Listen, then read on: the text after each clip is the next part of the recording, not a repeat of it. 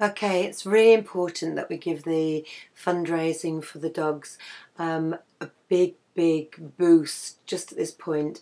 We've sent to the Prelz Foundation um, the money that has been raised for medical costs, operations, um, vaccinations, microchips. Now we have to raise the last little bit of money for the um, travel costs for the two dogs.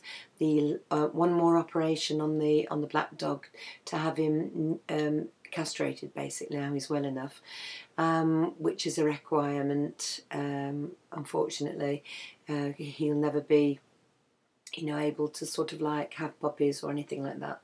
So if you take him on, you're taking on a dog that has been um, poorly, who's now uh, well, and um, the other dog is um, a little cracker. They're both absolutely wonderful natured, used to being with other dogs, obviously.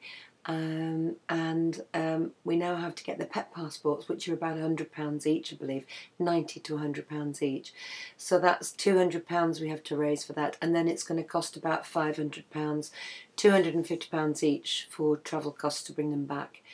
What we've decided to do is for me. Are you all right there? Shush, come here. Um, for me to go across there in a vehicle um, with a driver, um, it's more cost effective and to have them. Um, all right. Yeah. Okay. Yeah.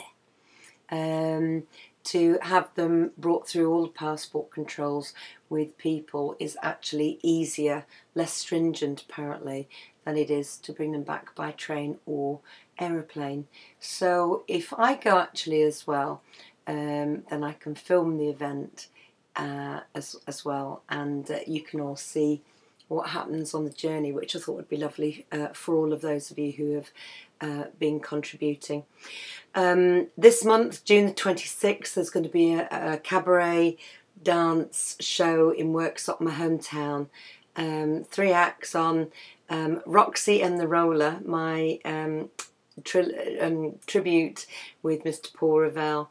Uh, will be doing a little taster and also I'll be doing a spot. Paul Ravel will be doing a 60s uh, dance spot, and we will be getting another act um, as yet to be arranged. I'm hoping um, it will be somebody really, really um, unusual, brilliant, and spectacular, and want to make you all come. You never know. Um, what else?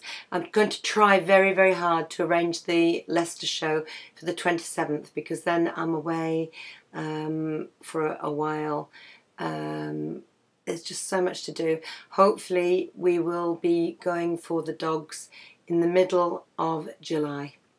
Um, so, um, Carrie Bayliss has very, very, very wonderfully uh, offered to give one of the dogs a home, and um, he's a lovely man, but as soft as soft as muck.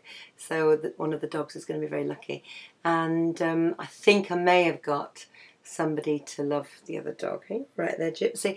Gypsy is rather grubby, um, as you can see.